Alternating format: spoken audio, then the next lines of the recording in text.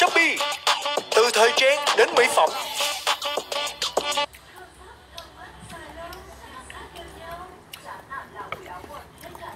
Chào mừng quý vị các bạn đến với chương trình Khảo sát 100.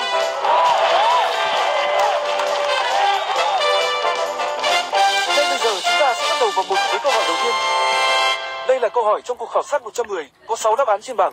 Số điểm của mỗi đáp án cũng chính là số người trả lời các đáp án đó. Câu hỏi là Ngoài bánh trưng, kể tên một loại bánh truyền thống trong các dịp Tết ở Việt Nam.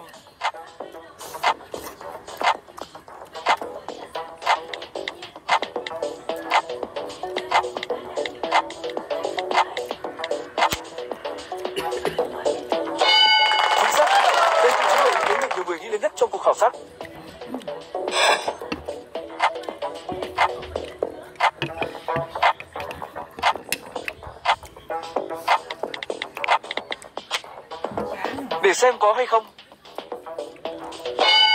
Rất chính xác.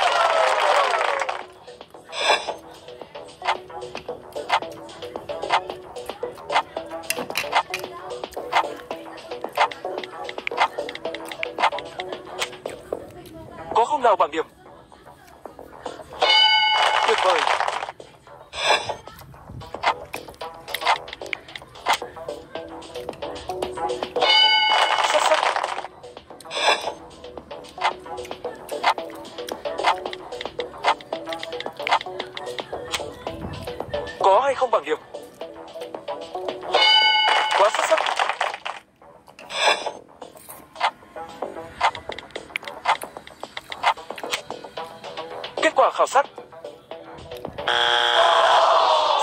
Đó chưa phải là câu trả lời được nhiều người nghĩ đến.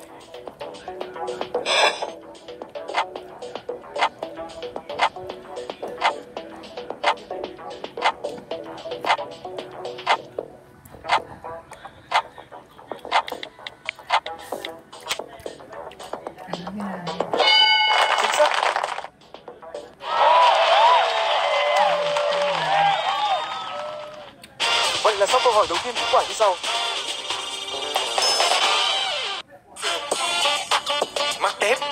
Shopee. Từ thời trang đến mỹ phẩm. Ngay sau đây chúng ta sẽ bước vào vòng thi thứ hai với số điểm lên đôi. Theo bạn, thực vật nào được dùng để chế biến dầu ăn?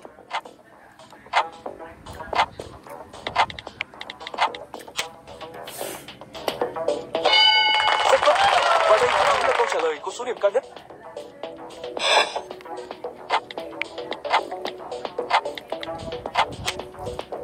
Có hay không ạ?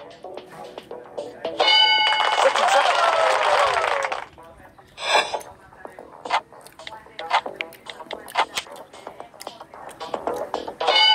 Tuyệt vời, cứ giữ vững phong độ như vậy.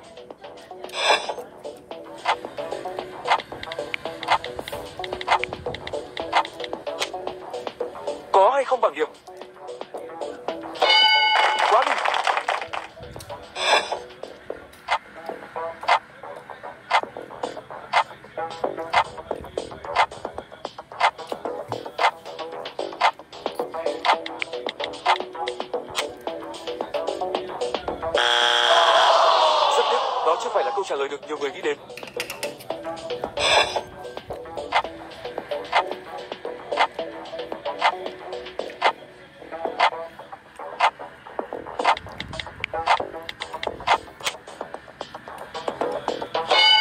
Chính xác.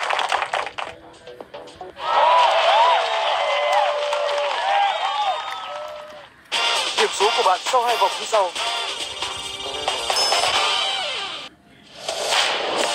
Hãy bước vào hành trình học ngoại ngữ cùng Duolingo. Luyện tập kỹ năng nghe, nói, đọc, viết để chinh phục tất cả những mục tiêu Chúng ta cùng đến với vòng 3 với điểm số sẽ được nhân 3. Ngoài số điện thoại, bạn còn nhớ được dãy số nào khác của mình?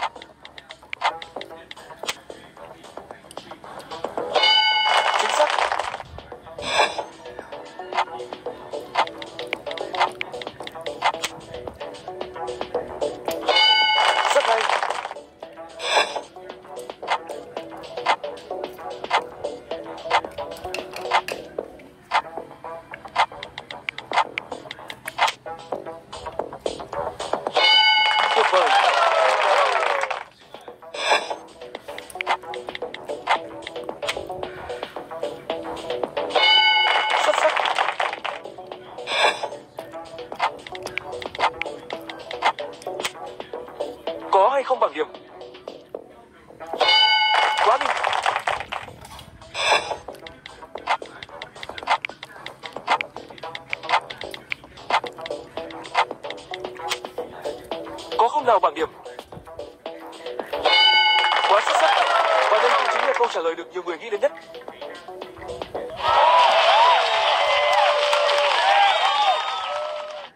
Chúng ta hãy xem sau 3 vòng thi, bạn có giành được quyền vào vòng đặc biệt.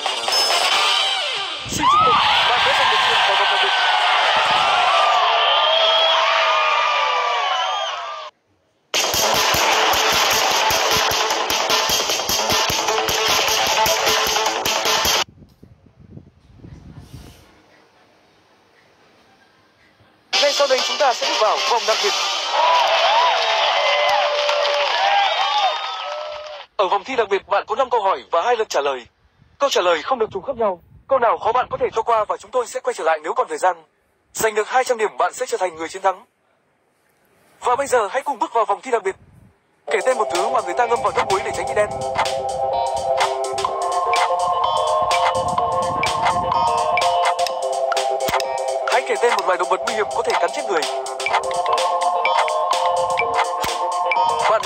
loại bánh được gói bằng lá chuối.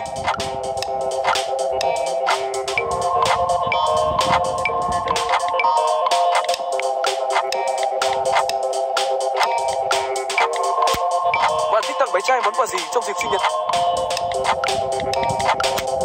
Ngoài nước ép, người ta có thể chế biến món ăn hoặc thức uống nào từ trái cây. Kể tên một thứ mà người ta ngâm vào nước muối để tránh bị đen.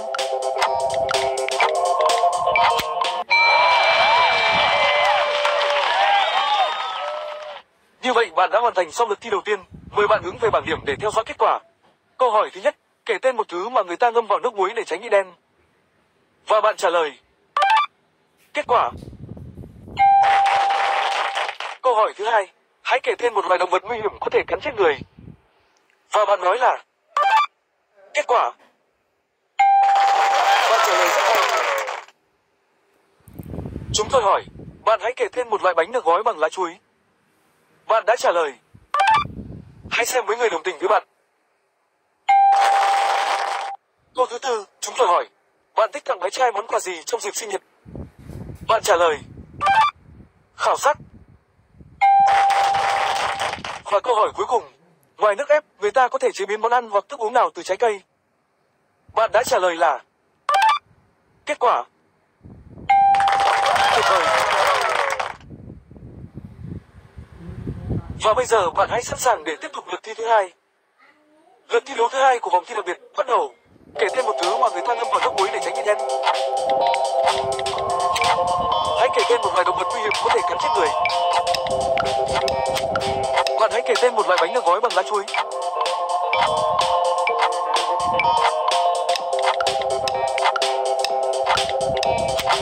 Bạn thích tặng bé trai món quà gì trong dịp sinh nhật? Ngoài nước ép, người ta có thể chế biến món ăn hoặc thức uống nào từ trái cây.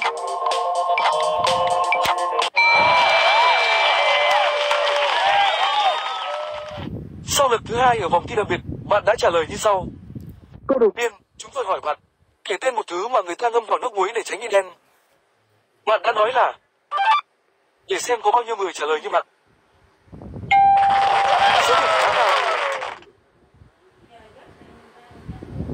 Câu thứ hai, chúng tôi hỏi, hãy kể tên một loài động vật nguy hiểm có thể cắn chết người. Và bạn trả lời là khảo sát. Rất tốt, chúc mừng bạn.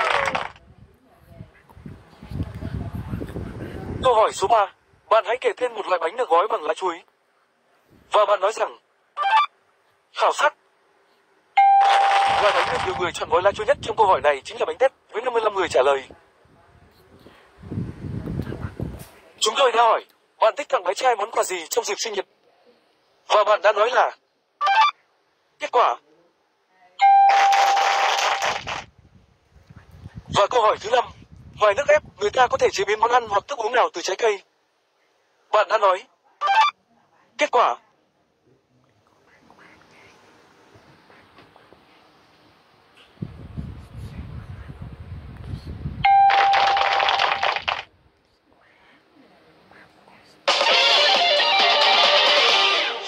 bạn đã chưa đủ điểm để chiến thắng vòng Siri tôi cần tiền đổ